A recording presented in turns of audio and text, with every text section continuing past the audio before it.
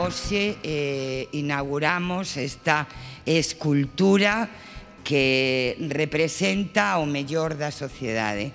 Representa un mundo local que cada vez vai ter que ter máis presencia pola súa inmensa capacidade de transformación e representa as mulleres ocupando o espacio público.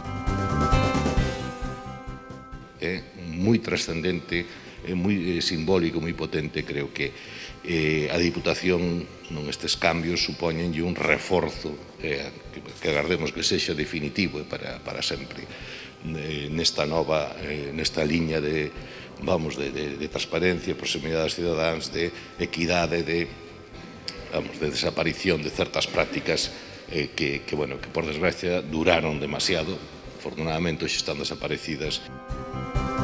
Decidín facer como unha gran aperta, unha gran acollida, unha gran mm, eh, deseo de axuda aos municipios e comarcas que son consolidadas e protegidas por esta institución. Esta foi a idea deste traballo. É un traballo dinámico, con sonido, con movimento. E sempre pensando neste movimento, nos cambios como asubíos do vento, para hacia o progreso.